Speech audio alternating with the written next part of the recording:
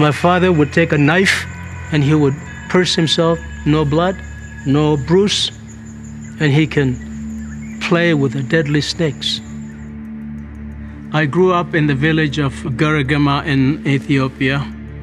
My father had 21 wives and 64 children. Christians were being hunted and killed in my country at that time. Eventually, I went to Canada, but I could not be happy knowing that my family and friends were still serving spirits. I had to return to tell my father about Jesus. I simply came to see my father, and I saw the situation, and you see the people dying without knowing Christ by hundreds by the day. For lack of the gospel, they're going to witch doctor. I didn't blame them. I was one person, and, and uh, what, what would I do? I heard about this movie, Jesus Film, and borrowed a copy to play in my village. But there was a problem. Most people could not understand it. We ourselves were not happy bringing the Amharic Jesus film to the land because many of them could not understand it. But we had no option and showed it anyway. We showed the film in seven different villages. And you know what God did? Today, seven churches stand where the film was first seen. And by God's grace, those seven churches multiplied. Now, over 40 churches with 12,000 believers. Every year, 700, 500 get baptized. And the believers will be here singing and worshiping. And my father was actually the first one to pop up and got into the water. He stood right in the middle of the water saying, Listen, today I tell the devil I'm not going to serve him anymore. Why? Because today I am a child and a servant of the Lord Jesus Christ who died for me. I tell you, that's when we know that God honored the ministry. Last year, when I learned the film would be recorded in the language of my people, I was so excited. All I could think was, now everyone will hear Jesus speak right to their hearts. Who can guess what God will do now? When word got around that Jesus film will be translated in our language, we just couldn't believe. I couldn't contain my joy. I was crying literally. I didn't know what to think. The joy of the people was beyond measure. It will be in our language. Those who don't speak Amharic will understand the message better. I'm so thankful and I'm so excited. I can't contain my joy.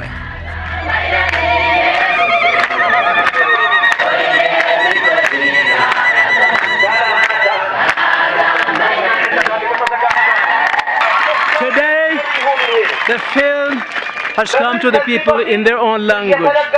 I'm just celebrating Jesus in the Gawada language.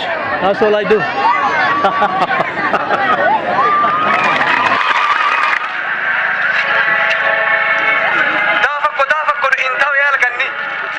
feel Jesus here in our village today. This is something they will remember for a lifetime. Many do not read or write, but now they know about Jesus. And they actually see him talking in Gawada. How can I forget what I saw tonight? I will keep it in my heart until tomorrow morning.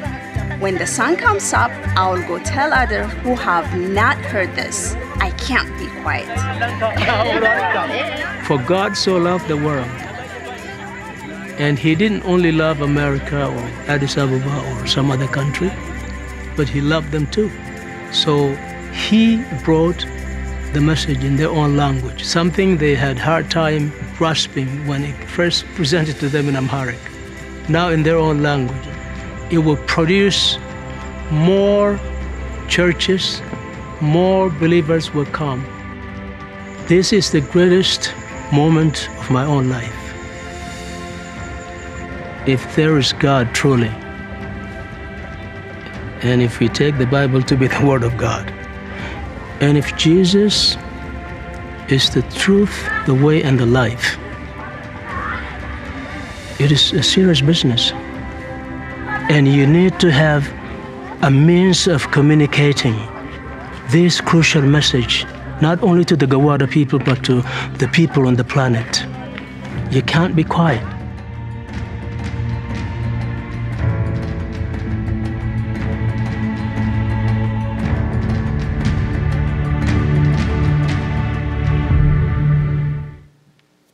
All right.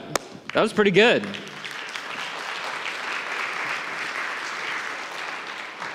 What a great way to start uh, this evening to hear Benora's story.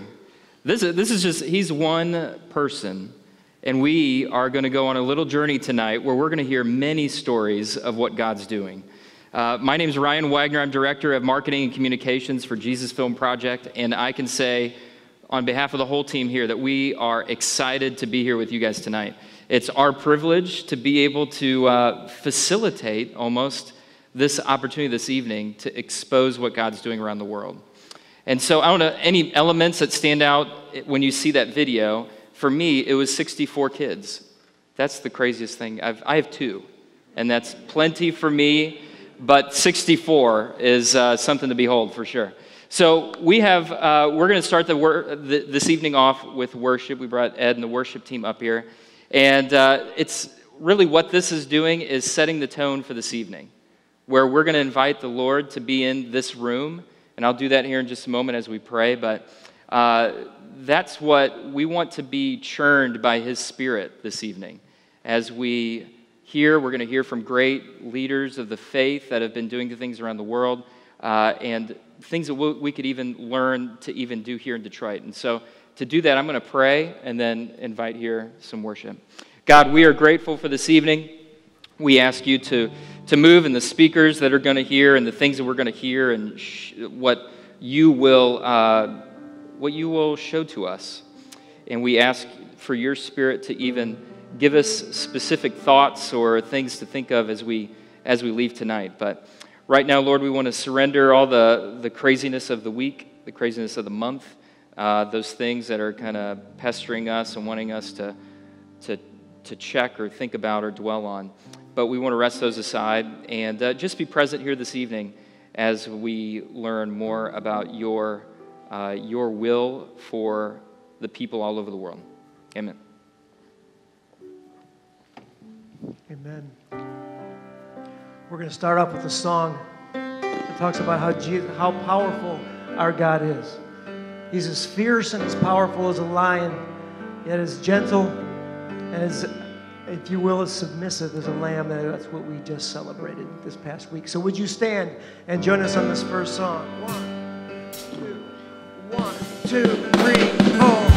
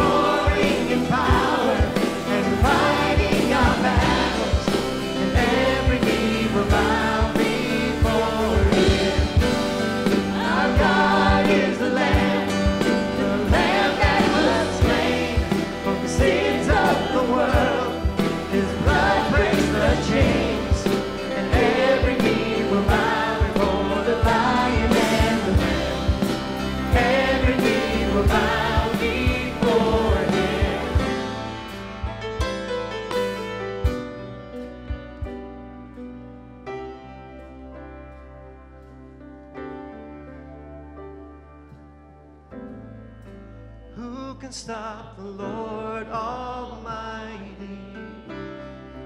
Who can stop the Lord Almighty? Who can stop the Lord Almighty? Who can stop the Lord? Ask that again. Who can stop the Lord Almighty?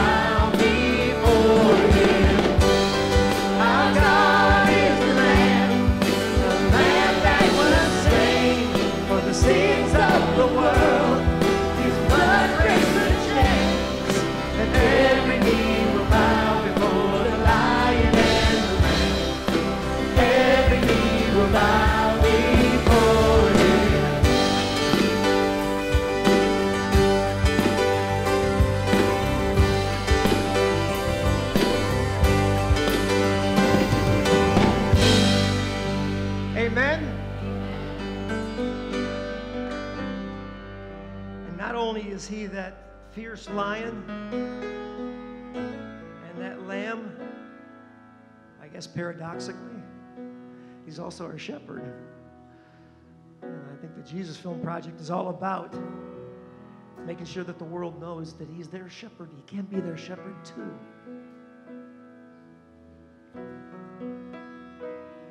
You just sing the 23rd Psalm. Lord is my shepherd. He goes before me. Defender behind me. I won't fear. I'm filled with anointing. I'm filled with anointing. Cup's overflowing. No weapon can harm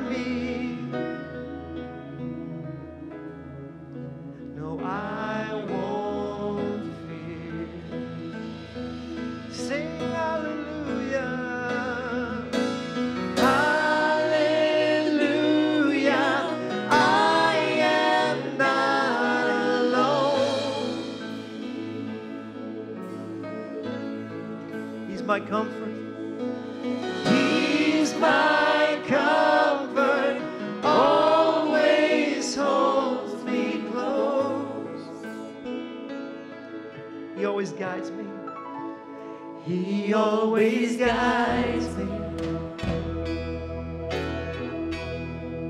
Through mountains and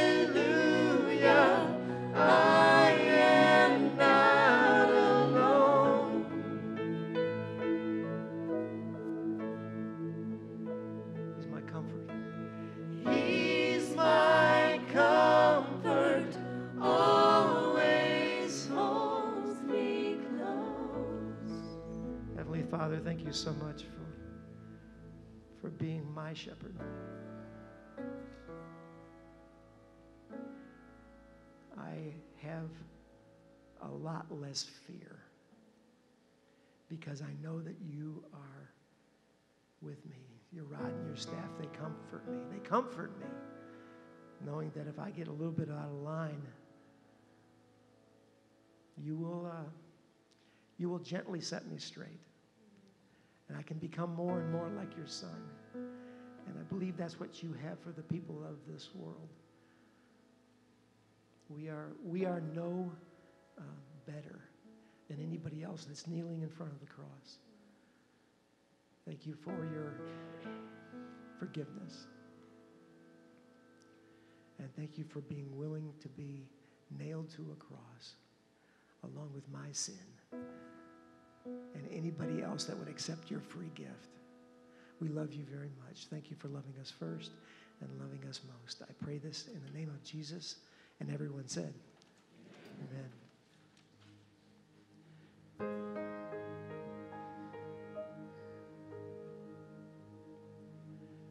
I stand accused by my regrets, and the devil roars his empty threats, I will preach the gospel to myself that I am not a man condemned, for Jesus Christ is my defense. My sin is nailed to the cross, my soul is healed by the scars, the weight of guilt I bear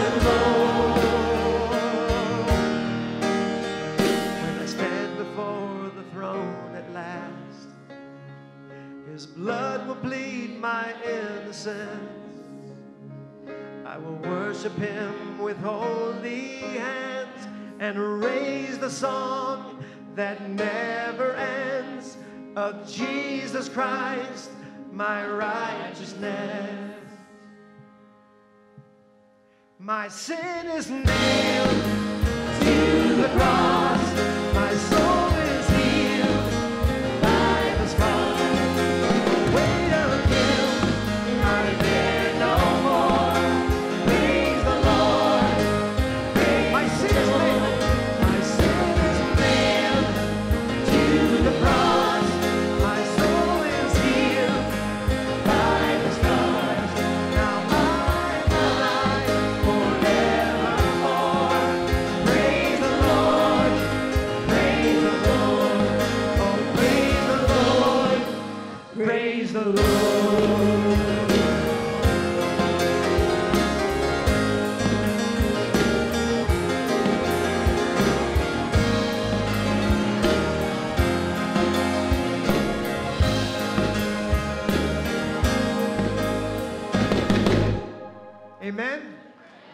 May be seated. All right.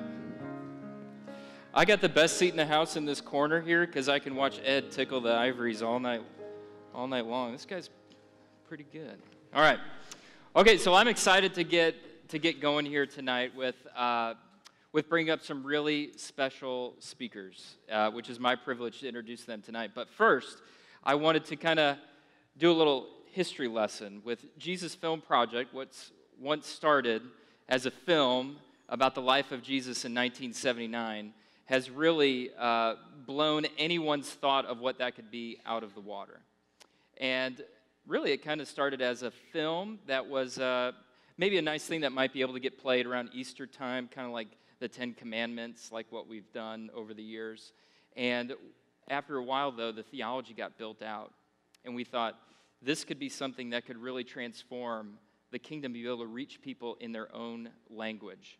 And so, with Paul Eshelman as an, uh, one of the original, the original director of Jesus Film Project, as he started to build out that concept, then we had Jim Green, who was another director of Jesus Film Project, who really worked on broadening the landscape of media, as we had had years and years of influence in seeing how media can impact the world.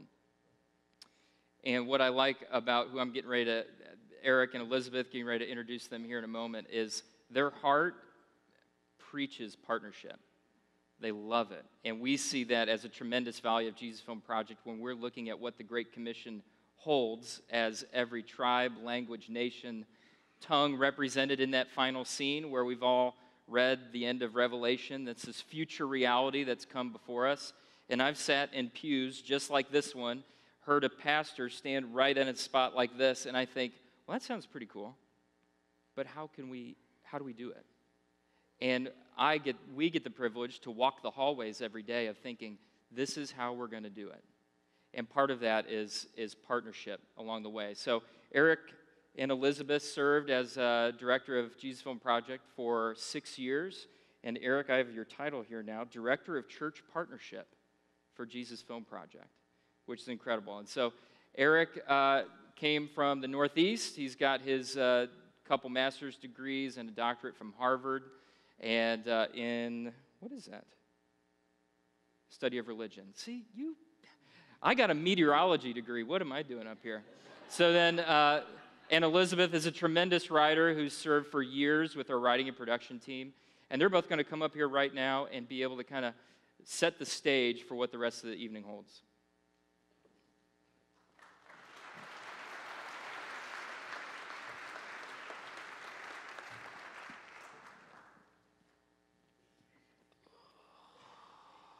Did I get it in the middle?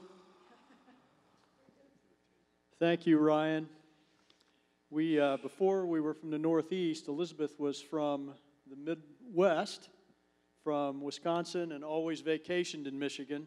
I grew up actually in northern Kentucky and got involved at, Harvard on the, uh, I guess, on the, on the hillbilly uh, program. But uh, we, we love this area of the country. I always say, uh, people from, I'm not just saying this to flatter you, I say this all the time. My COO and my administrative assistant when I was director of Jesus Film were both from Michigan, and I had to confess that Michiganders were the best people in the world. So it is a pleasure to be with you. It's a joy to and a privilege for us to be with you and to share this event in which Crosspointe and Jesus Film are cooperating to celebrate the goodness of God and what He's doing in the world, and to do it in this beautiful sanctuary. And as Ryan said, these are great pews. I don't know if you've ever sat in the front row, but I mean, it is like it is like sitting in the exit row. You get like this much extra leg room. And, and I think that was done strategically so you would fill the front row, which is usually empty in churches. So come forward sometime and, and take that opportunity. You know, we're, we are here to celebrate together the great love of God, who loves the world so much that he sent his Son, and who sends us to make his love known to everyone in the world. One of my favorite scriptures is in 2 Peter chapter 3 when Peter is talking about the Lord's coming, his second coming, and, and he says this The Lord is not slow in keeping his promise to return, as some understand slowness. Instead, he's patient with you, not wanting anyone to perish, but everyone to come to repentance.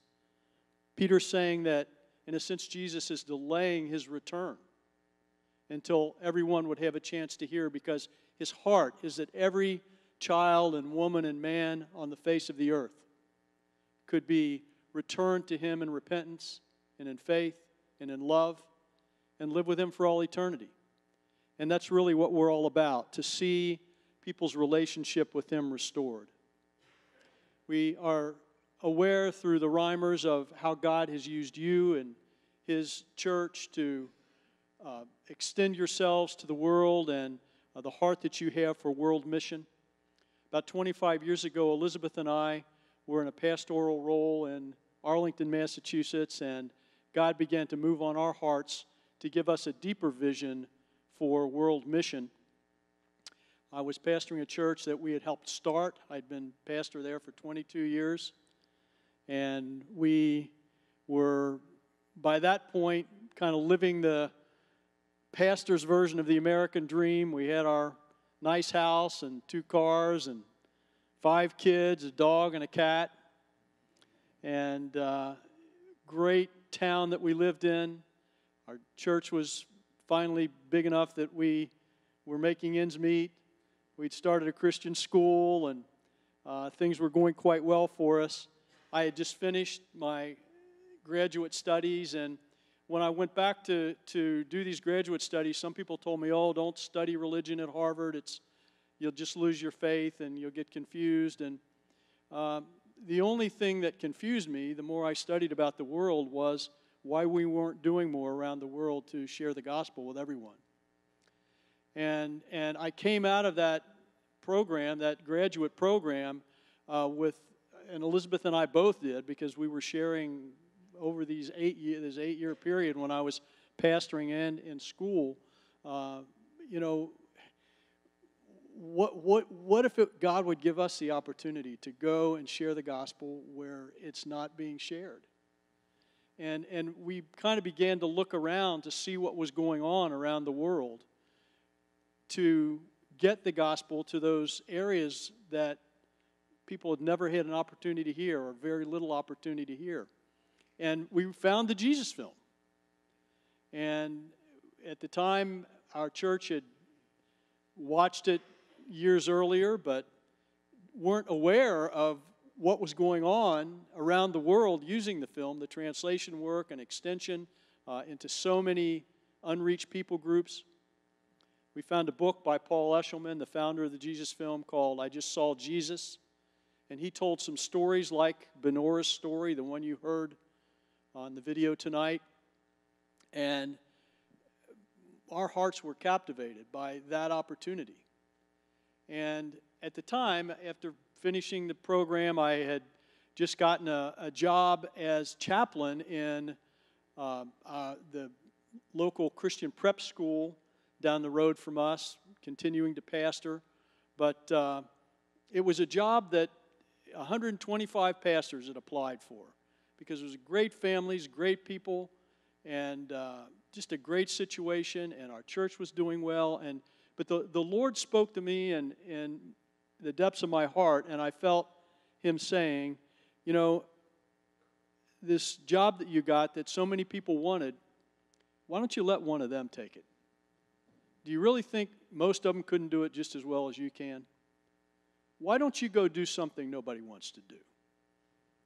And about that time, a young woman in our church stood up and announced that the, the, the Cru chapter that she was a part of was adopting a city in the Muslim world in the former Soviet Union uh, called Tashkent in the newly formed Republic of Uzbekistan, adopting this city to bring them the gospel.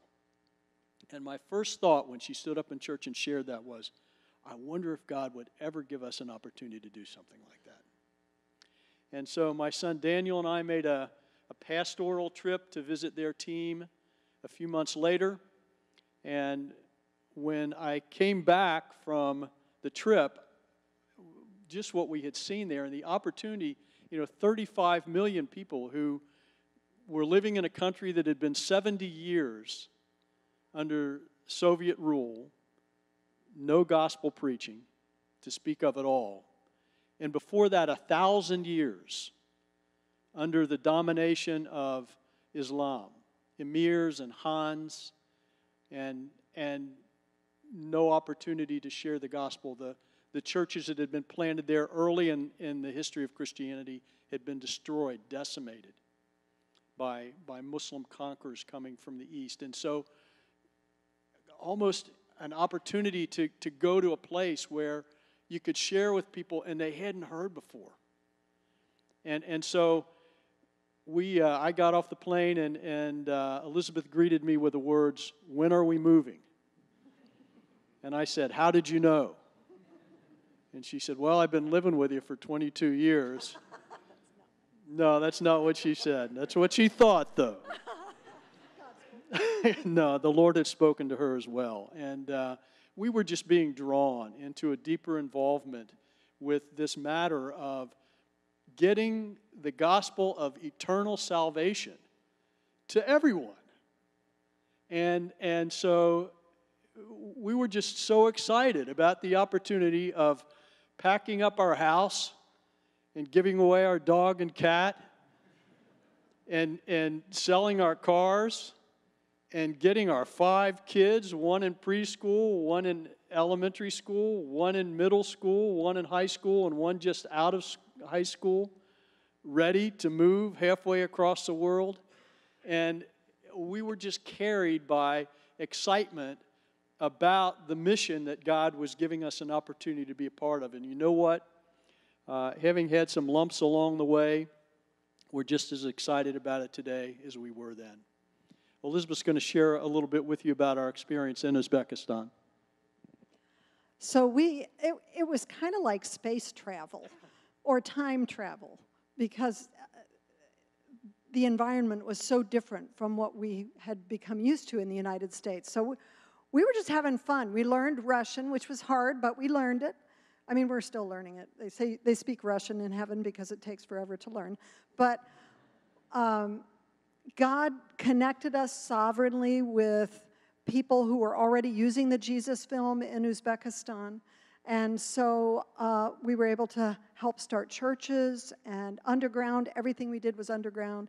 Eric used to say when we'd come back and speak to Sunday school classes here in the US in the summertime, he'd say to kids, I remember especially one inner city church, he said, I break the law every day if I can. Because most of what we did was not really legal. But preaching the gospel. And so, and so um, God just sovereignly blessed what we were doing. It was, it was a great privilege. And um, I remember we came back, we, uh, our kids started getting bigger, our sons, especially our older sons, and so they were eventually all three in the US while we were in Uzbekistan with our two little girls who by this time were 12 and 8. They were 8 and 4 when we moved. And um, so we, we had been back for the summer, and we, we got back in, in the heat of August and uh, got rolling again with all the different things that, that Eric was doing, both in his official capacities at university and in our unofficial capacities um, working for the Lord. And um, one night we, we went to the girls' school. There was a little missionary school there. We went to the PTA meeting. And it was just another day, right? Um, got back from the PTA meeting, and I remember Eric saying to me before we went to bed, he said, I don't think I've ever been so tired in my life. And I thought, that's really saying something for, for this guy, because he goes like a house on fire. And we just fell into bed. And I woke up at four in the morning. It was raining outside, super dark, but I saw in the doorway of our bedroom a man standing in the doorway, and I thought, I wonder if Eric got sick. I, I didn't hear him get up. I wonder, and so I just closed my eyes, and then I felt very uneasy, and I opened my eyes. There was a man directly at the end of our bed, and another man in the doorway, and they had on like ski masks. All you could see were their eyes. Um, what I didn't know was that they were carrying hatchets, which was the weapon of choice for political assassinations in Uzbekistan. They would beat you with the blunt side of the hatchet until you were unconscious and then cut your head off. I didn't know all that right in that second, but I did feel as if the devil himself was in our bedroom. And I realized my husband was asleep next to me, and so I just yelled, Eric, wake up, they're here, like they were late dinner guests or something. And no sooner were the words out of my head than the first blow struck and broke my skull. And after that, I couldn't even move. I couldn't defend myself. I couldn't do anything. And this guy on my side of the bed was beating me with the blunt side of the hatchet, and there was another guy on Eric's side of the bed beating him in the head with a blunt side of the hatchet. And all we could do was cry out to the Lord. It was so quiet. All you could hear was, Jesus, Lord Jesus, help me, Jesus. And they just kept beating and beating. And I had this conversation with God. I was like, Lord, where are you? Make it stop. Help me, Jesus. Then I thought, why aren't I unconscious? Could I please at least be unconscious now? This is not like the movies. I literally thought that in the middle of it. I thought, this is not like the movies. I should be unconscious. And then I said, finally, I said, I can't do this anymore. This is excruciating. I can't do this anymore. Please, Lord, I just want to see you. Let me just close my eyes and come. I'm done. I, this was my last day. I'm ready. And then I saw like, like a movie, not of my past life, but of the future. And I saw these two little girls growing up and going to high school and graduating, going to college and getting married and having kids. And, and there was no mom in the movie. And as soon as the movie was over, I said, Lord, remember what I said. I don't want that at all. I take it back. I'll do anything. I'll endure anything. Just please, God, let me live. And that's the last thing I remember. I woke up in the dark, somehow on the floor, um, bleeding from everywhere, um, in, in pain, and I started crying out for Eric. It was quiet. I called to Eric, I called to the girls, and there was no answer. And that was my actually my lowest point because I thought that they were all dead. And then I said, I, I examined myself and I thought, well, I'm Lord, I'm soon to come because I think I'm in pretty tough shape. And the first thing I did was to thank him. I didn't understand it, but I just knew I didn't want anything to be between me and my God. So I just said, Thank you, God, And then I said, Lord, I forgive them. Please, Lord, forgive them. Let them come to know you. Let those men come to know you.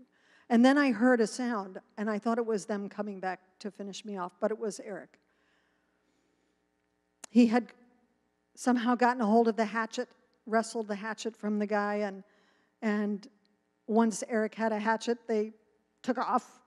Um, he found the girls hiding outside. They had their own encounters with the men. They were not physically hurt, thank God. He called the uh, emergency squad, and we waited and waited, and I was in and out of consciousness and in pretty tough shape. And, and at one point, as he was trying to take care of me while we waited, he said, Honey, someday you're going to look back at this as the best day of your life. I, I was like, What are you supposed to say? But I'm so glad he said that because immediately I, I referenced all the stories I had read of people who had suffered for the sake of the gospel. And I thought, Lord, thank you for this opportunity. And it really set me on a path of not feeling sorry for myself because I was another, really another three or four years of, of recovering. Um, we went, we were finally taken to the hospital. We were ultimately airlifted out of the country to Europe. And I remember getting on that little cool Learjet plane. And I mean, I was wheeled onto the plane. And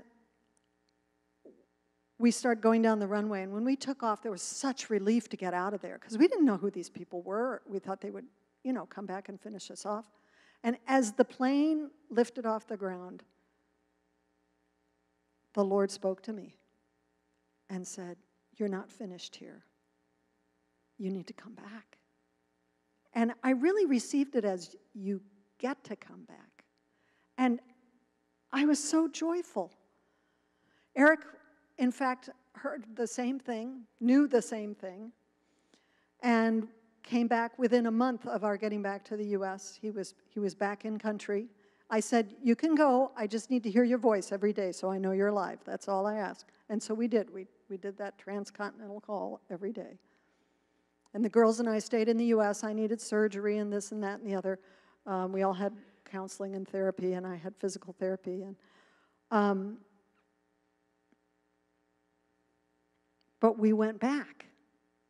After 10 months, the girls and I joined Eric in Uzbekistan, and it was like day and night.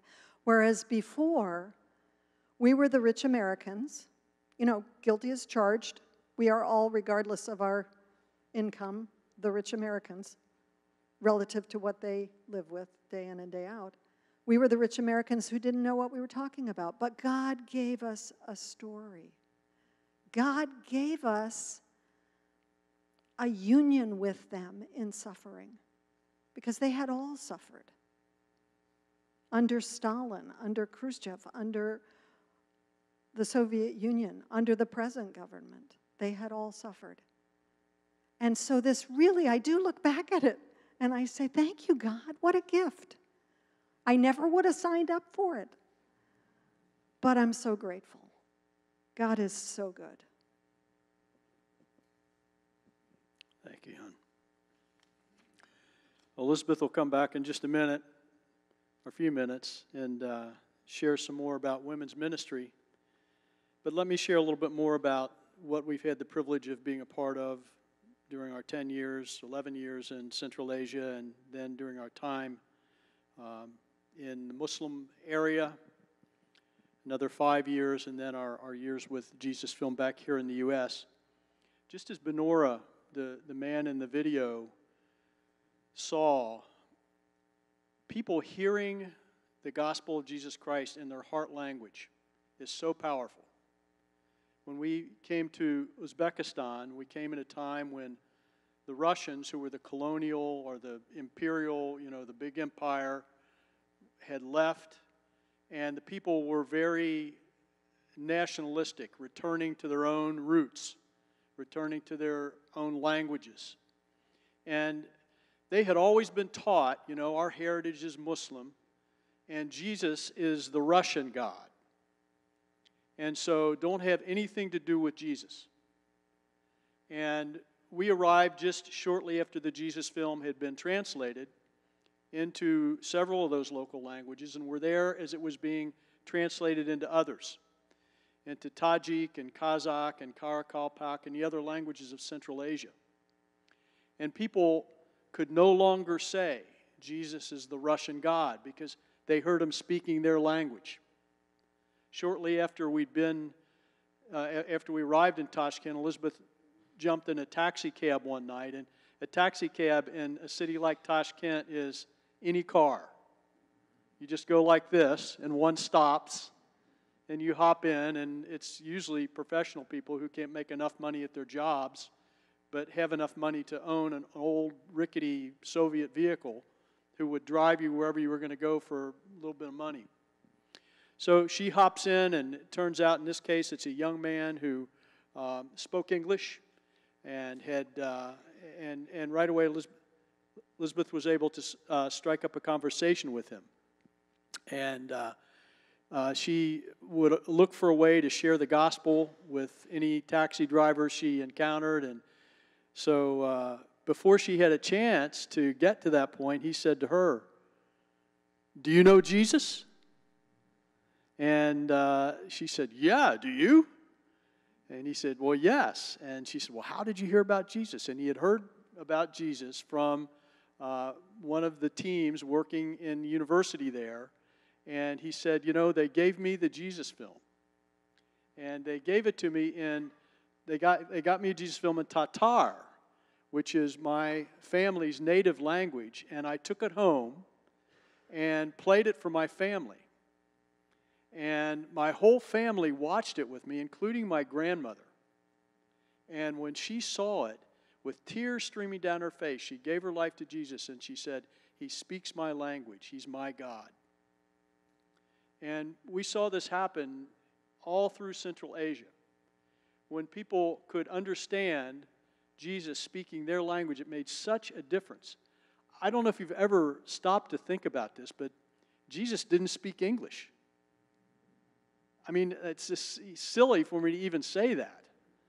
But we're so accustomed to being able to see him and hear him speak our language in film and you know we've had the bible in english for so many generations. We're so privileged but it's our turn to give back. We this wherever we were from you know most of us of european background probably in this room these strange tribes in whatever stage of development we were in in Europe, when someone had the courage to translate the Bible into our languages, it changed us. It transformed our forefathers, it transformed our culture. And it's time for us to see that make the same difference for every tribe and tongue in the whole world. We had the privilege of working with a group of Jesus Film team members in Uzbekistan when we'd been there a couple weeks. A woman uh, named Olga uh, asked us to dinner, and we went to dinner in her home. And, and we had heard about Olga. We had heard she's the Billy Graham of Uzbekistan. Well, we didn't know exactly what that meant. There weren't all that many believers yet in Uzbekistan, but she was one of the most courageous among them her family had been jailed during the Soviet period for being Russian Baptists. And the worst thing they could think to do to a Russian Baptist when they jailed them was send them to the Muslim parts of the empire. So they jailed them in Uzbekistan. And so that's how her family got to Tashkent. Well, she had, by the time we met her, become the home mission director for the entire denomination in Uzbekistan, which it was a couple thousand people at, when Uzbekistan became independent, and quickly dwindled as as many of those Baptists as could possibly do it immigrated back to Russia or to the U.S. out of fear of what would happen when there was a, a Muslim oriented government back in place. But instead of leaving, Olya decided that she was going to evangelize the Uzbek people. And she was looking for bold young people who were willing to do that. And she found the Jesus film and some young men. So about two weeks after we had dinner with her, that the night we had dinner with her, she it was like an interrogation. She just fired one question at us after another about who we were and why we came and what our background was and what we knew and didn't know and one thing and another. Knocks on our door two weeks later, late at night, and and uh, you know I scrambled, pulled my pants up, and went and ran outside and opened the gate, and there she stands with one guy about this tall, skinny as a rail, another guy about this tall, real, real broad, both of them tattooed from the neck down. Both had served in the Soviet Navy and were ragtag Jesus film team members on her team, committed to take the bold step of evangelizing Muslim background people. The government drew the line there. If you evangelized Russians, it was okay. They were going to leave anyway. But Uzbek meant you had to remain Muslim. Well, she was, had built this team. And basically, she, she said to me that night, well, the first thing she said was, Get in the car.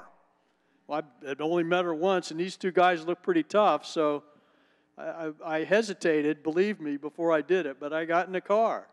And she, she took us to this apartment that she said wasn't bugged, and hers was. And she said, I'm going to be thrown out of the country tomorrow. I have to flee. The government's given me till tomorrow to get out. Um, and uh, I'm going to go to a neighboring country, and, and I'd like you to work with these guys. Well, it was the greatest privilege of my life to, to work with these guys, uh, showing the Jesus film throughout Uzbekistan, and then through them and our association uh, with the teams in, in other Central Asian countries to be a part of what God was doing in that country, uh, in that part of the world. And, and then, as a bonus, after we returned, after our, our incident, uh, I had been back by this time 10 months. Elizabeth gets back, and how, how many days was it later? 9 11. About two weeks later. 9 11. So we watch on a little, everybody has their 9 11 story. Ours was watching the towers fall on a little Soviet TV in an apartment in Tashkent. Elizabeth just having come back from being beaten nearly to death by the same people that were now attacking our nation and watching the towers fall on the TV.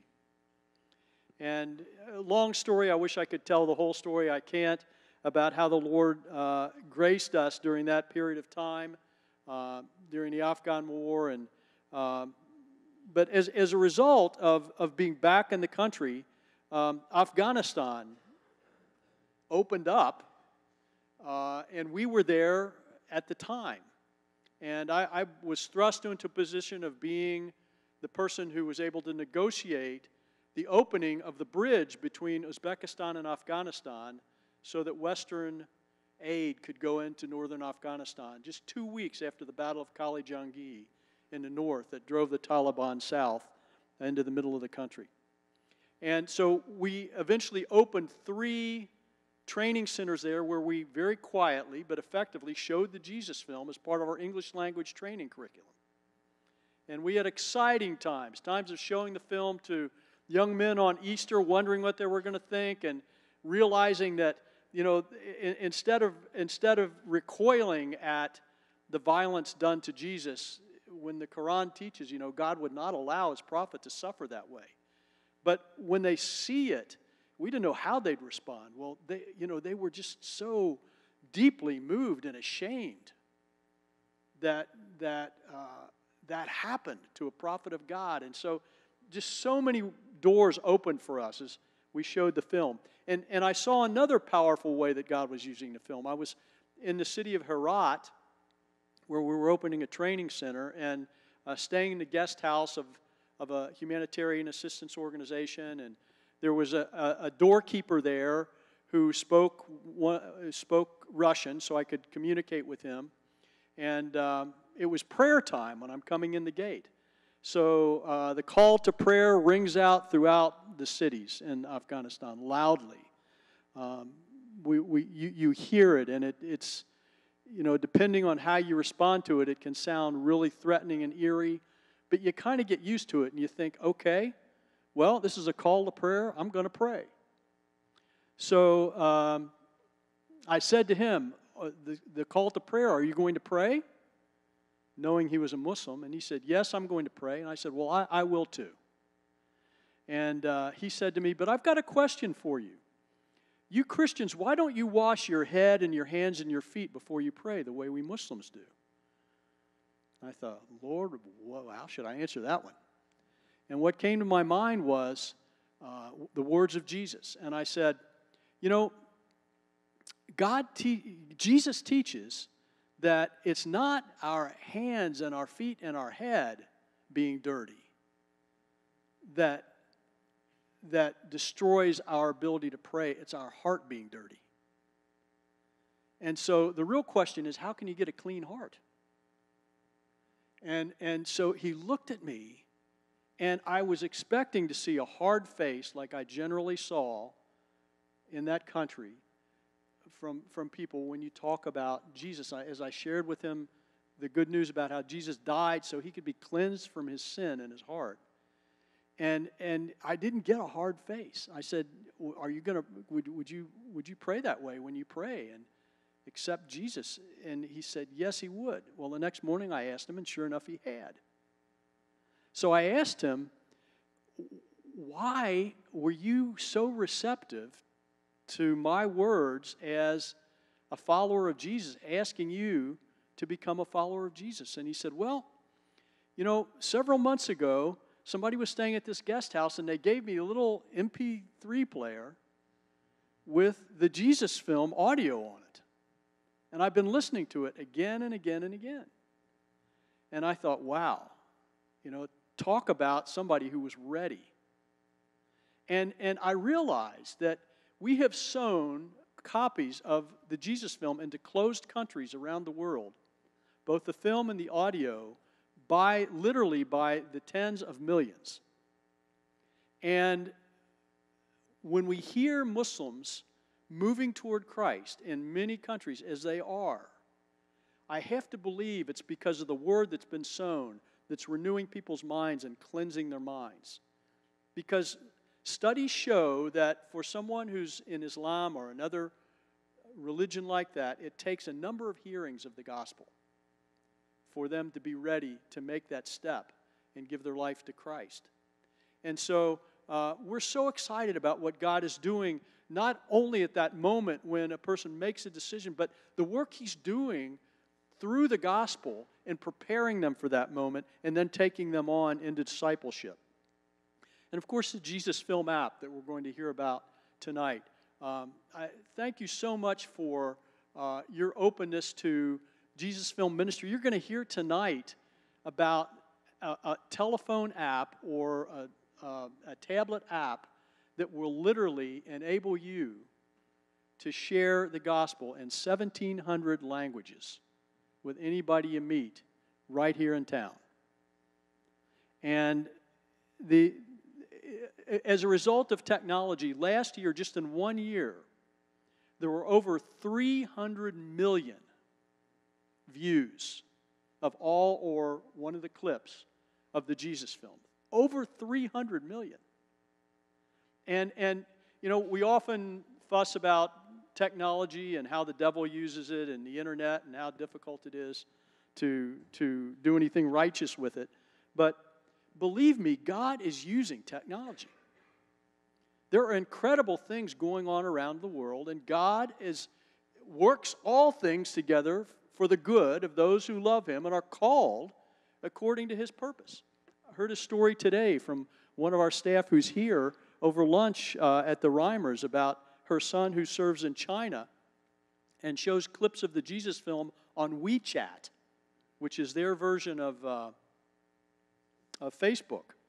And uh, over two years, they've had two million views of clips with commentary in China again, a country where you read in the news and hear a crackdown is going on. It's more difficult right now to do face to face ministry in parts of China. But information technology, communication technology has done away with the idea of a closed country. The Chinese can't keep the gospel out. They're not going to close down WeChat. And, and uh, they, they, uh, um, our friend's son who, who works there says three to 4,000 people making commitments to Christ every month through WeChat, and three to 400 of them they're able to steer into local house churches. They have a, they're part of a network of house churches, 2,700 house churches. Uh, the largest church in the Arab world is an online church. 200,000 people weekly tune in to a worship service online, and including in the most closed Muslim countries. You cannot stop it. It's an opportunity for a person who could get themselves in real trouble if they let it be known that they're interested in Jesus. It's an opportunity for them again and again and again to watch and listen and be a part of God's work in cleaning their soul. God's working powerfully in parts of the world that we've often thought of as the more difficult places in the world. Please do not be discouraged about God's work in the world. Often here in America, we look at our own country and we look at Europe and we say, wow, we're losing. Do you know sub Saharan Africa is virtually entirely Christian? Do you know that the largest, strongest mission sending impulses in the world, you know where they are right now? Korea has been for a good decade or more. But China is sending missionaries and saying, we're going to send people all the way back to Jerusalem. There's a, a back to Jerusalem movement among Chinese Christians. There's a go north movement from sub Saharan Africa going to the Muslim north in Africa to bring the gospel.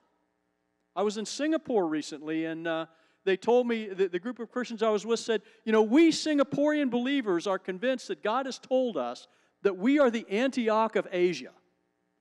We're going to win Asia to Christ. Singapore.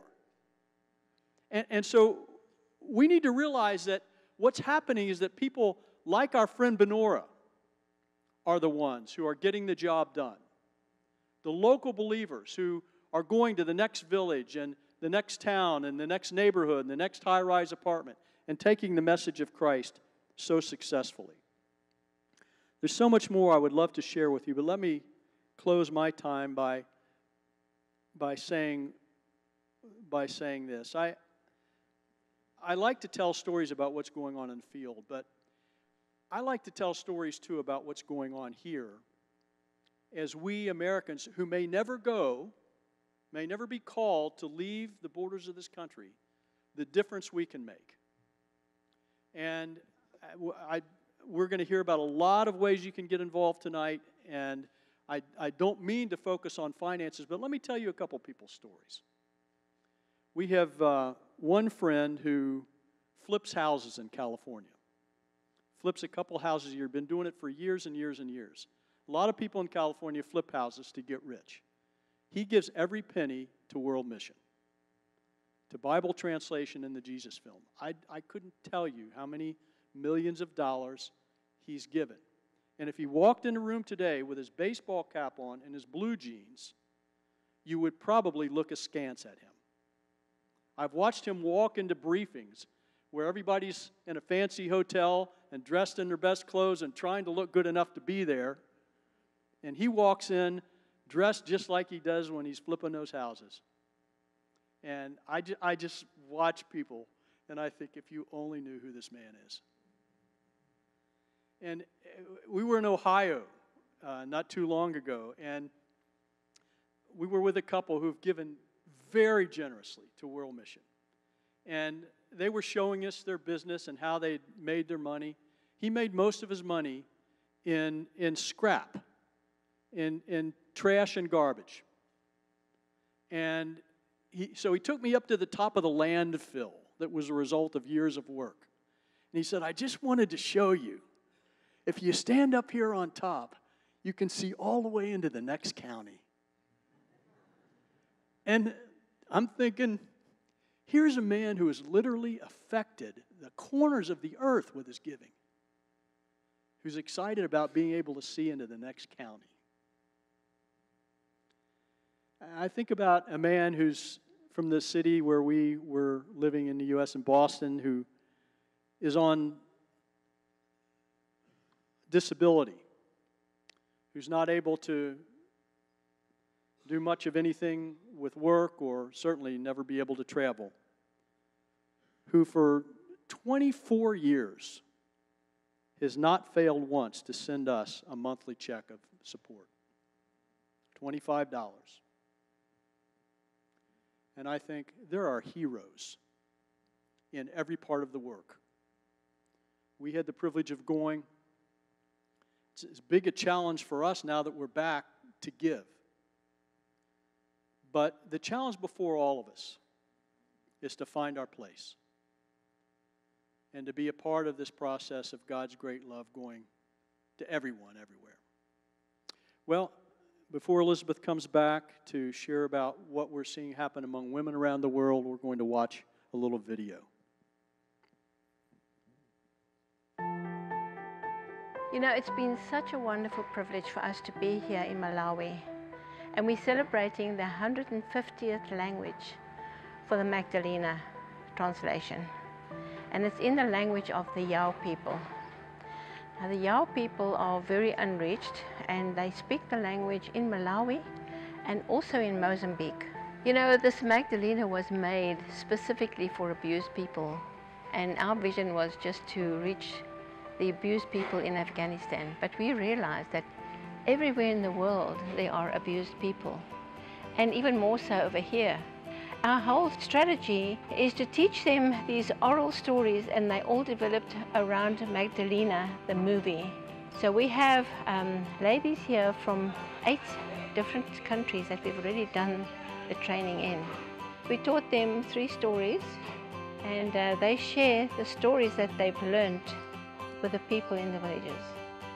So they went out two by two and they shared with 156 people. And 36 people became Christians, gave their lives to Christ just through these stories. It was difficult for me to tell a story.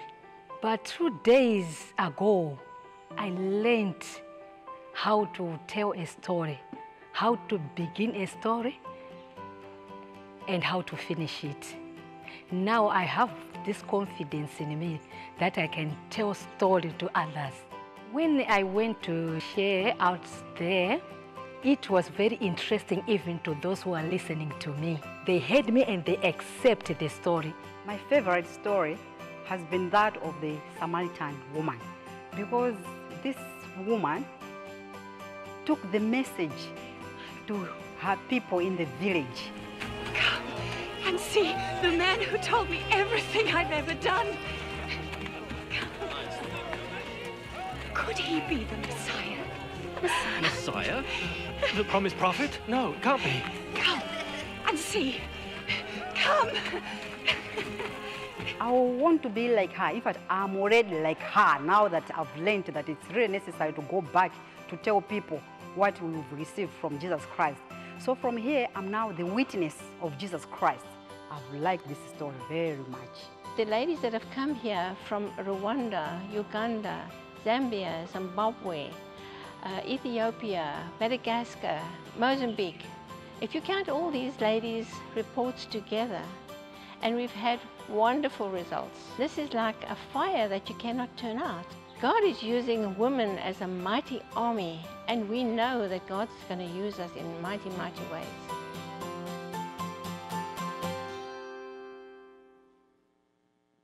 Isn't that cool?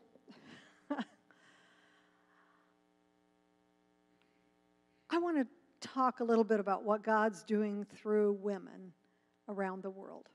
You know, we say we want to reach the whole world, and statistically, a little over half of the whole world are female.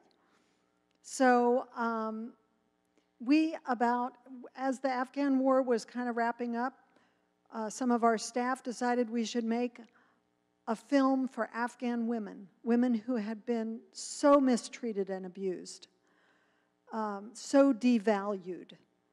And so that is why we created Magdalena, a film about Jesus' healing and interaction and commissioning of women.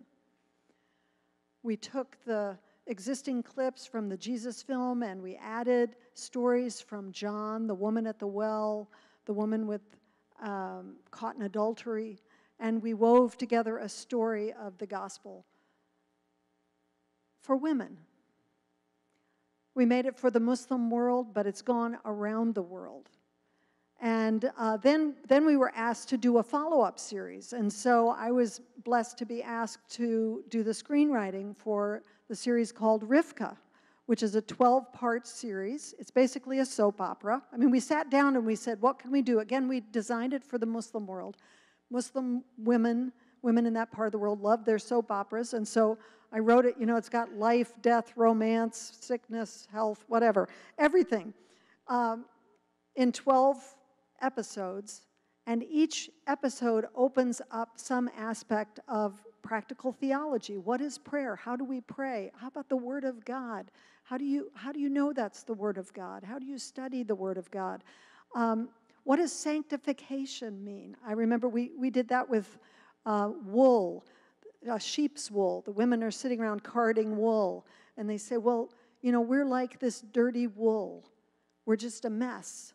But when God looks at us, as when we look at this wool, we imagine the carpet that we're going to weave from it with all the colors and the patterns. When God looks at us, he sees who we are in Christ.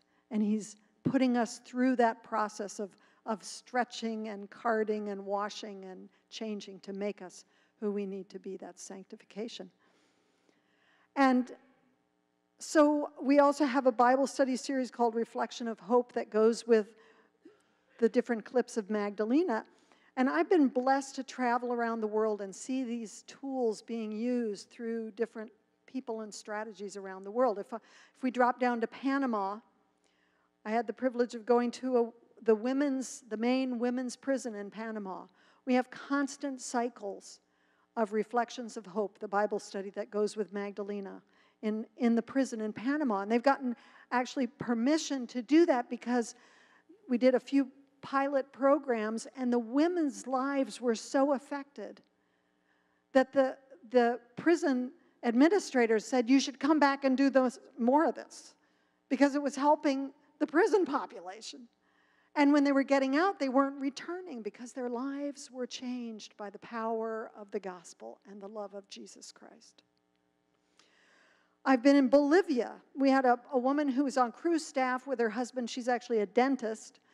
And um, so, well educated woman. She'd worked in one city for 10 years and they, they'd worked together and, and really had seen no fruit. They were becoming discouraged. She, she heard about Magdalena from our, our women's strategy coordinator for that part of the world, and she decided to start trying it. And the first door that opened was in, in the school system. This is a communist country.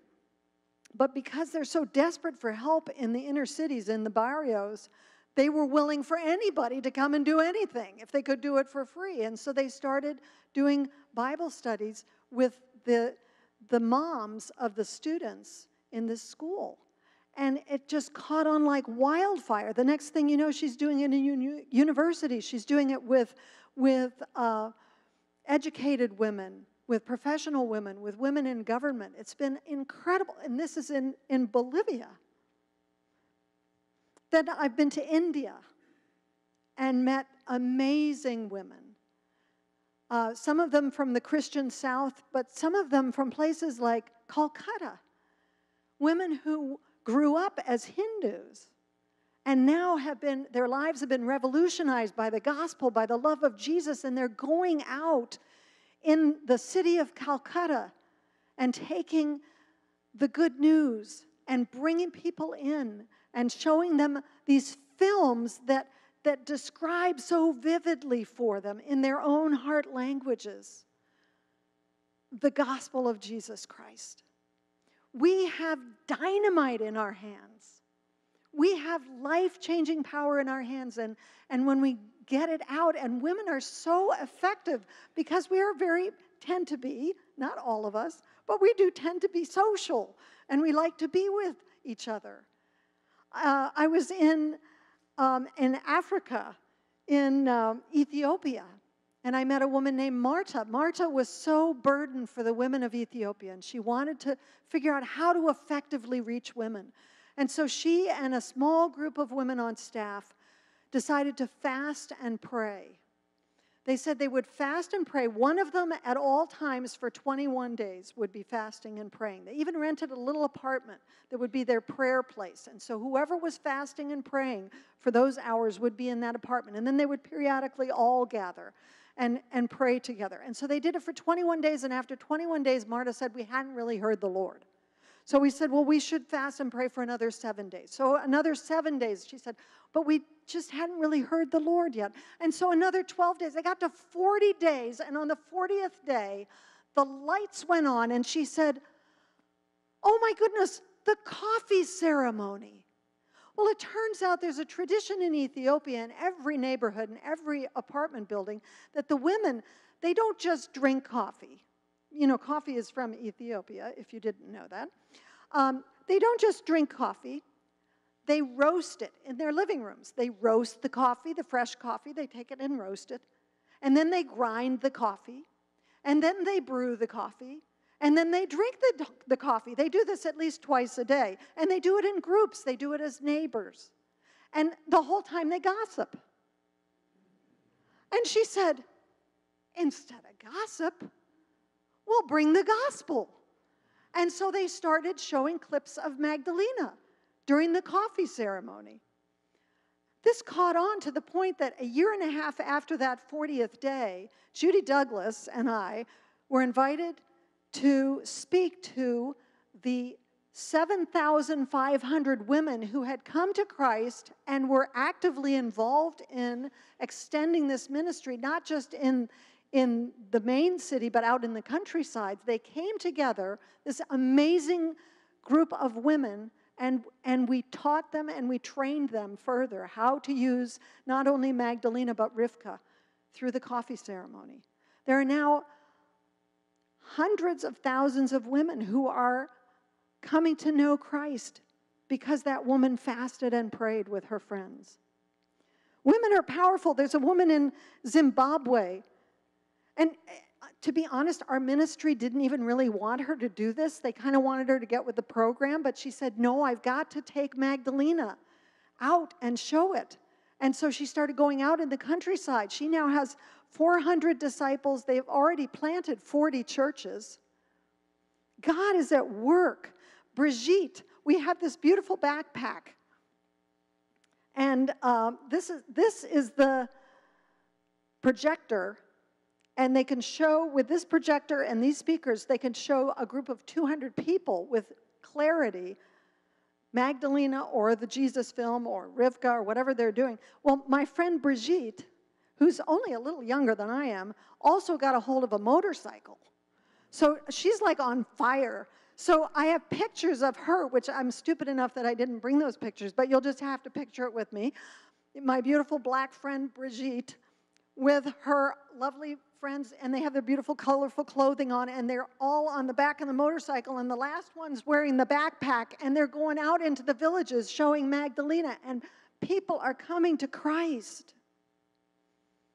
Our women are on fire. The Magdalena sisters in Algeria, who started sneaking into hospitals to pray for people. And people started being healed. Again, the administrators came to them. They said, We've noticed that you come, and after you're with the people, there's remarkable change. Would you, would you come? Can we make this official? And so they go to hospitals in Algeria and pray for people, the Magdalena sisters.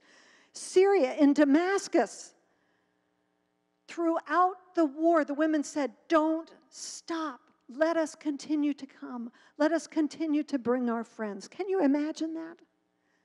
Risking, literally risking their lives to come together, to study the Word, to hear Jesus speak to them in their own heart language.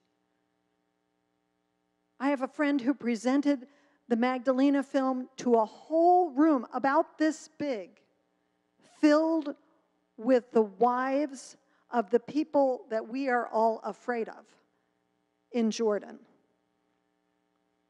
These were the women who were married to the men who were carrying out horrible things.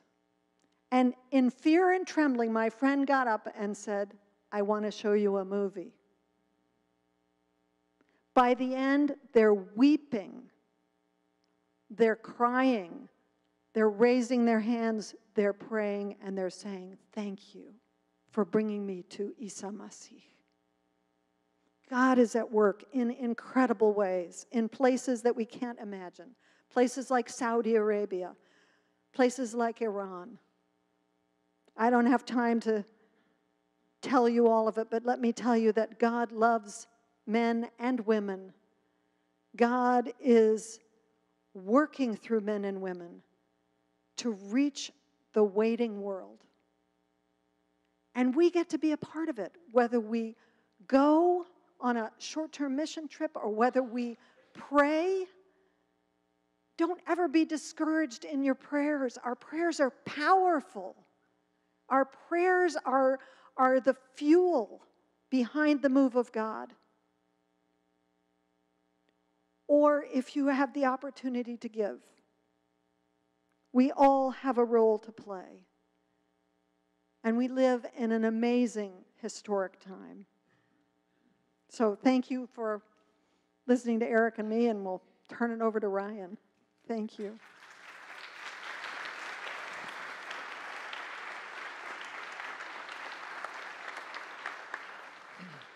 Do uh, it reminds me, Eric. You said, "Do not be discouraged by what God is doing." Is anybody discouraged? I don't think so, but we forget. So thank you, Eric and Elizabeth, for reminding us uh, of what's happening around the world. Uh, Eric, you alluded to it earlier, but uh, technology and the app that Jesus Film Project has created is a part of opportunity. What we like to think of is uh, around the world every day a million people go online that had never been online before.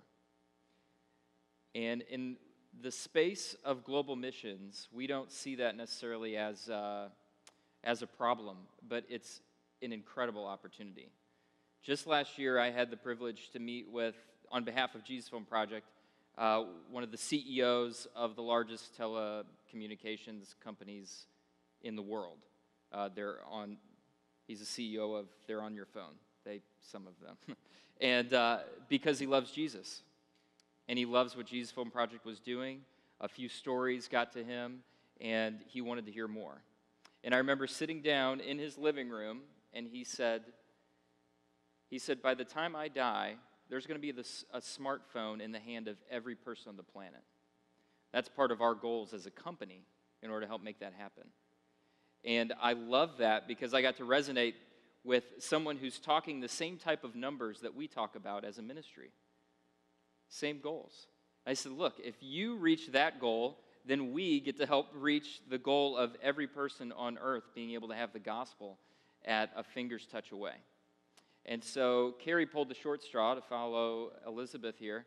And uh, she's going to come up. Kari, she's been on staff with Cru for many years. She is a very gifted mobilizer great storyteller. She works with church planners, disciple makers all over the world. Uh, when she's not traveling, 40% of her year, she lives from Atlanta and uh, is here to help guide us into further opportunity, not only in the technology space, but for us right now.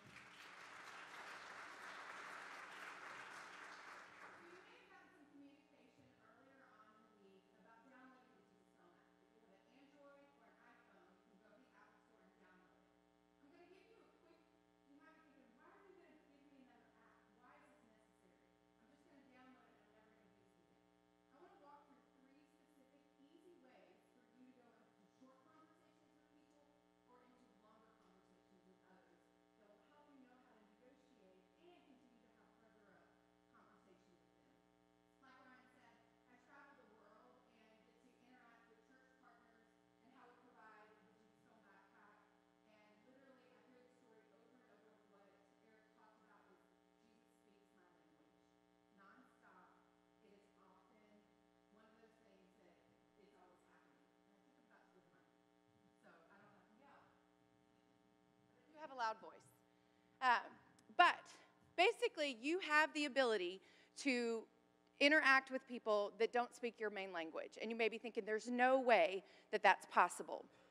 But as I'm out and about in Atlanta, and often I have to take an Uber to go to the airport, I get in the car and I'm usually frazzled because I need to get out there and I'm like, I need to get to the airport. And one of my favorite things as I travel is when I hear an accent. An accent is one of the best things that leads me into conversation. And so I get in the Uber and I hear the man, he says, Oh, where are you going? And I was like, Oh, to the airport. And I say, say some country. I said, I detect that you have an accent. He said, Oh, yes, I am from Nigeria. And I said, Oh, what language do you speak? And then he says, I speak Urdu. And I'm like, Oh. So I basically take my phone, and at the bottom of the app, depending on your iPhone or an Android, if you're an Android user, it's on the vertical side. If you have an iPhone, it's at the bottom, and there's a map button at the bottom. And so I test my geographical skills really quickly, and I move over to Africa and I hit Nigeria and I say, Is this your language? And it shows all the different languages, and then it'll have 14 different fields. And he says, Oh, yes, it is. And I said, I have 14 languages in your native tongue. And he goes, Can you send this to me? And I said, I can. And he goes, Here is my number. It's not the Uber number that you called. Send it to me. Send it to me. And he goes, Can I send it to my family back in Nigeria? And I said, Yes, you can. And what ends up happening is this app is for free. And people will say, If I share it with somebody and then they share it with somebody and they share it with somebody, is it still free? I said, It is all free. And so there's this beautiful thing about using the app that begins to negotiate that conversation that can often feel like a barrier to how do we begin to engage with other people. And so now we're going to look at Besides the Jesus film, and Elizabeth alluded to Magdalena and the Reflections of Hope, there are other films on the app that you can utilize. I learned from one of our African staff that there are over three years of content and information that you could spend looking at the Jesus film app and not run out of content for three years. I thought, I had no idea that that was possible, but I'm glad to know that I can share it with others so that they can use it.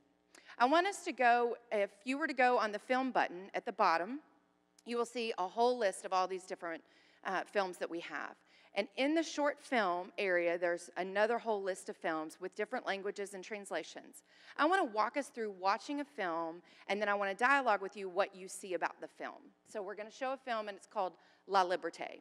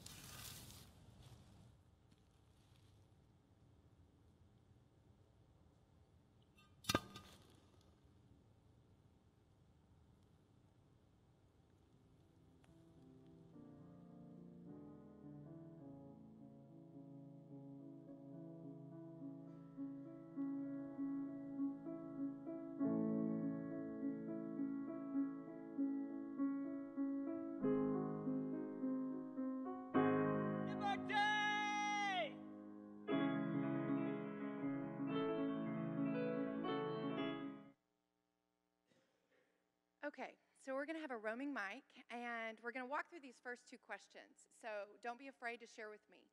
Who gives this man his freedom? You can raise your hand, Beth can come find you. The former prisoner? Okay. It's not a wrong answer.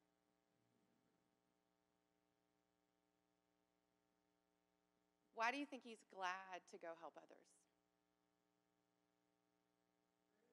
He's free.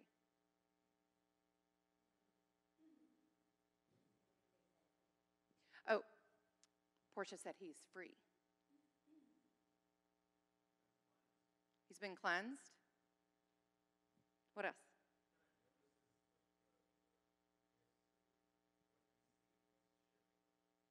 He notices what he sees, his gifts, and wants to share it with others. Other thoughts? He's seen the light?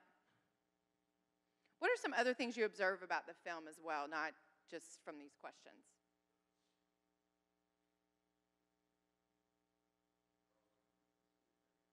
All looking for the same thing?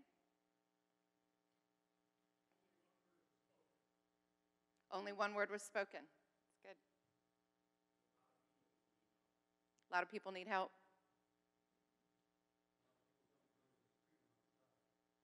A lot of people don't know there's freedom outside. It's good. Say again, I'm sorry. The darkness inside. hmm I love, one of my favorite parts is the contrast of the color, of the gray to the seeing in color, and how that, the slow progression. No? Okay. I'd love to hear your thoughts. It takes action on our part. It takes action on our part. That's right. It's not. It is not that difficult to do. So these questions, when you're on your app and you're under La Liberté, these questions are listed there. So these aren't something that you have to have memorized to where you have to think, I've got to be a good question asker, I've got to know the right things to say. They're all on the app. And basically, with each film, and one of the things is on the Jesus film specifically, they've broken it up into 61 different clips. And so, one of the things that I like to do is I started to go through reading the book of Luke. And as I would read a story in scripture, I would then go to the Jesus film and watch that clip to add more. It's like I've seen the Jesus film, but to go and specifically watch it. But then it enabled me to engage with other people as I was out.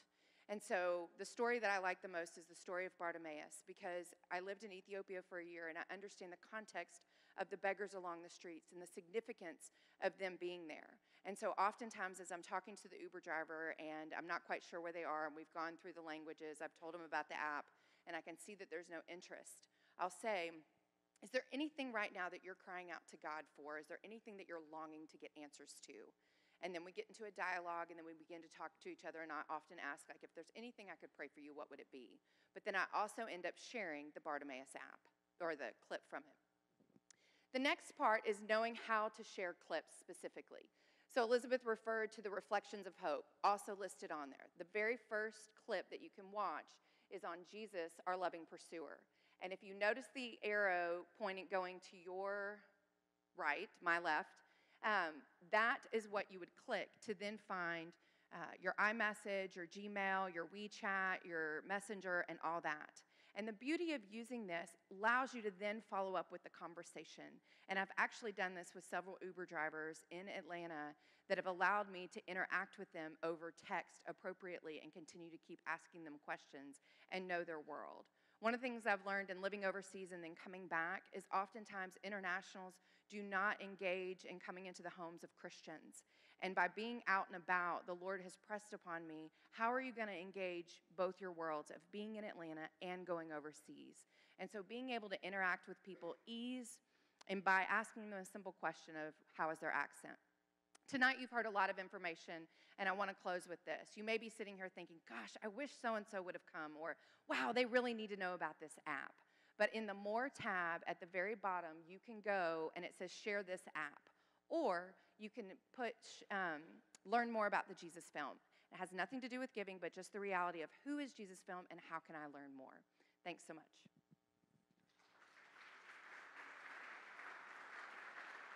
What's your ambition? Anybody with any gifts can use the skills they have to help fulfill the Great Commission.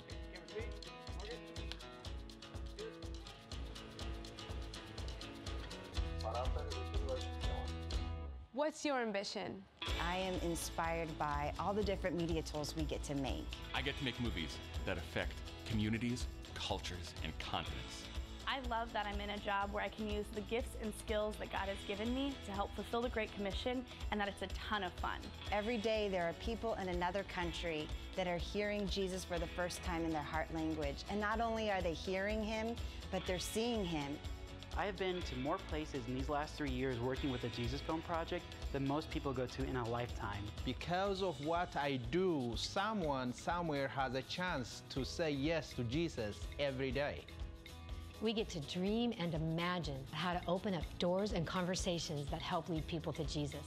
And films are one of the best ways to do that. Whether you're in an urban, media sophisticated place, or you're in the rural parts of West Africa or South Asia or anywhere in the world. We want to help people accelerate church planting. We want to reach unengaged, unreached people, and we want to see every person have an opportunity to know Jesus. The most exotic place that I've ever been to was Indonesia. We landed on a volcano that was still active, and you could see the scorch marks all around it. I knew I wanted to create film. I knew I wanted to serve Jesus. I just didn't know how that was going to fit together. You don't have to have it all figured out before you get involved. I have a degree in business and operations management, and I wasn't really sure how I could use that in missions, but being part of the Jesus Film Project has allowed me to leverage my skills for the Great Commission. We've always been about taking the message of Jesus to people wherever they are. In the beginning, we took it to them on the large screens in the villages, but now we want to put it on the screens in their pockets. Cell phones, smartphones, tablets, computer, wherever the people are, that's where we want to be. One of my favorite parts of my job is that digital media is the next phase of modern missions. We're seeing things like smartphones change the world and change the way that people communicate. Um, and every day I get to come into work and design new strategies on how to implement film into the digital space. So someone might search a phrase on Google and then find themselves at a clip of the Jesus film, Magdalena, a short film, anything from our entire library. And it will lead them um, to a website where they might be able to get their questions answered, where they can make a decision for Christ, or where they can be followed up. And so we want to help people have the whole experience at their fingertips. The work we do here gets multiplied in amazing ways. Every hour, 633 films are watched on our app in 63 different countries in 32 languages. We need people like writers, we need people like software engineers, we need people who are good at analytics, graphic designers, we need social media people, marketers, filmmakers, people with all kinds of skills. So the whole body of Christ can be found here at the Jesus Film Project, taking the message of Jesus to people all over the world. Every day I get to come into work and work with people who are changing people's lives. And that's really life-giving to me as well. At the Jesus Film Project, we're creating life-changing encounters with Jesus through film. I love that I get to use my unique skills to help make that happen.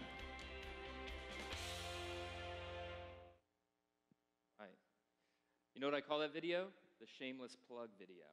Because we need, you just heard great stories, we need more people. So we love showing that when we come to moments like this because maybe there's people here in this room that resonated with that type of opportunity, or maybe you even have a background uh, with certain expertise that could help missions in a variety of ways. We'd love to talk with you too. And we'll have moments like that. We'll be mingling and small talking in the back here in just a little bit. But right now, what I wanted to do before we close out this evening is invite Pastor Matt and Portia and just you guys. That's it.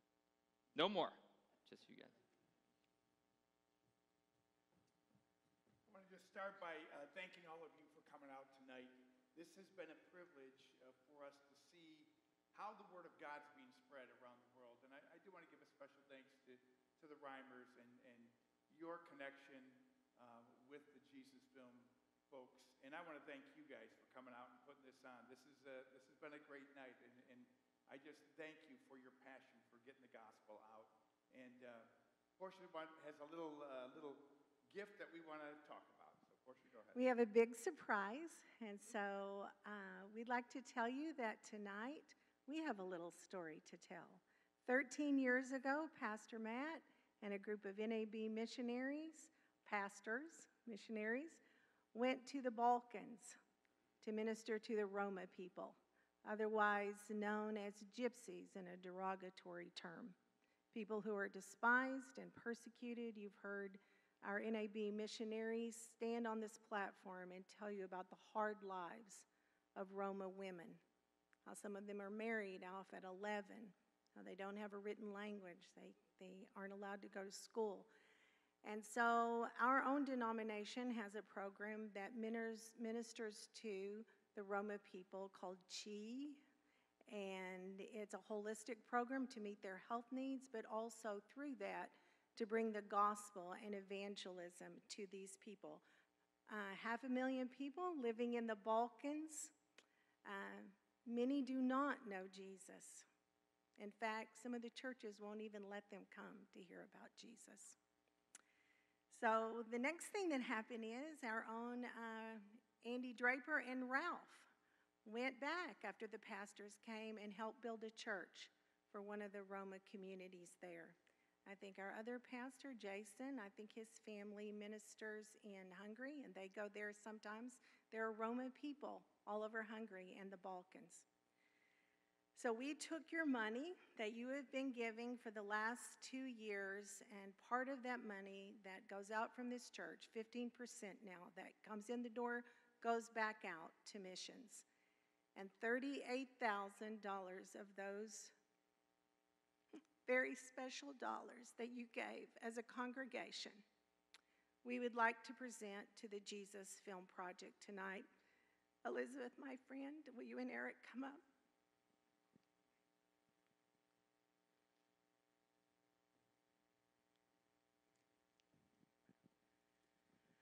We're excited about this because this check for $38,000 from you guys to help send the gospel around the world will be used to translate six segments of Rivka in the Romani Balkan language. Isn't that exciting?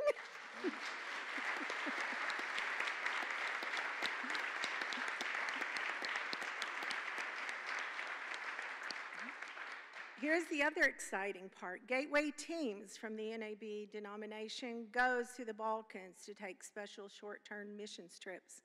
Some of you in this congregation have put that backpack on your back and shown the Magdalena where churches were planted in Paraguay, where there are little children in Awana programs today, 100 of them each week, that hear the story of Jesus. It started by showing the Magdalena in Rincon in Paraguay maybe nine years ago, 10 years ago.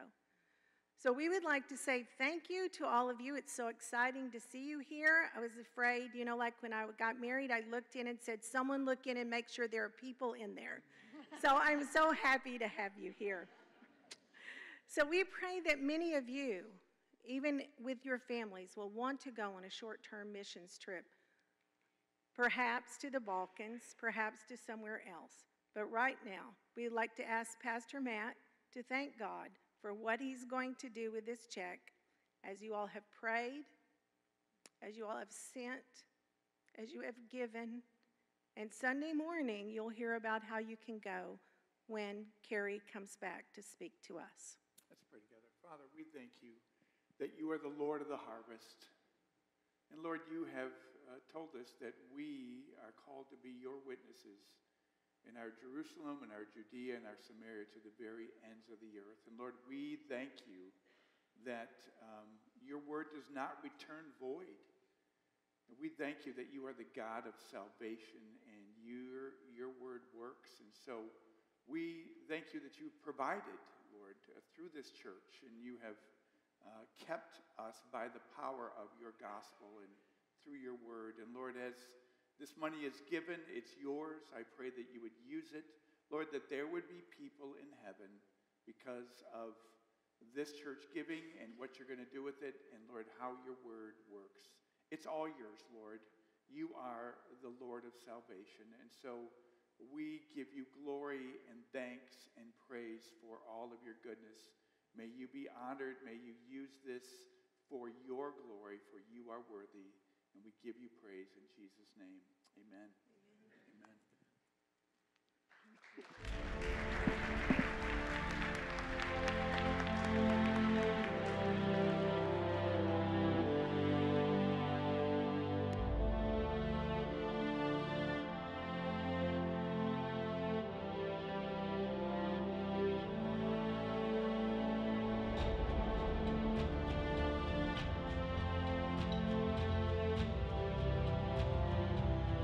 Desert land occupied by a hostile army, Dahlia said they are saying this happened to us because we follow the Messiah.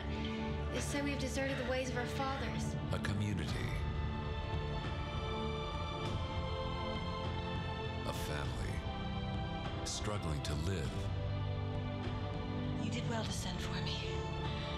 She's burning up. Jerusalem must be freed from her oppressors. struggling to love. He said we should love our enemies. That's what makes us different. struggling to believe. God feels so far away, Auntie Rivka. I don't even know how to pray anymore. Sometimes we have to go through pain so that we will not be left broken, so we can truly be healed. In the face of all that life brings,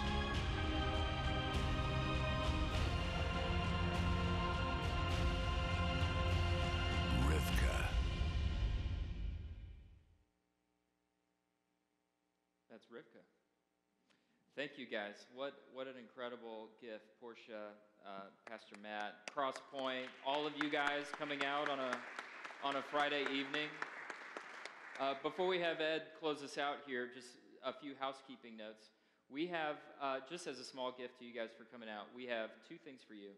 Each family unit, who doesn't like to be referred to as a family unit, uh, will get a, uh, there's DVDs in the back that it's, it includes Magdalena, the life of Jesus, and the story of Jesus for children, uh, all back there in eight different languages, all on one DVD, and uh, a book that Dr. Erick Schenkel wrote. And that is uh, some of the stories I believe that we're told tonight are in there. Really great. Again, uh, one each of these per one family unit. Make sense? Okay. And then, really importantly, too, we just love feedback on nights like this. And there's comment cards and uh, things like that around your seat. And oh, nope, they're being dished out now. I'm sorry, I was confused. So they're going to be handed out to you. And uh, as you guys exit, if, if you would be so kind to uh, drop those off on your way out, that helps us know to make these events better and better and better as we continue to uh, continue to spread the word on what God's doing around the world. Sound good? All right. Thank you guys again, Ed and team. Praise God. For people with courage and passion for other people.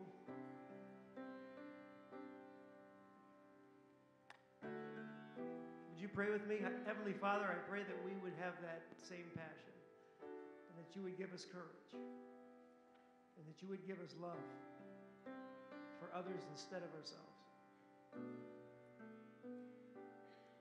and see their need. Please use us how you will. We love you for, uh, for dying for us, but we also know that you died for others. Use us as you will. I pray this in Jesus' name. And everyone said, Would you stand and join me on this song?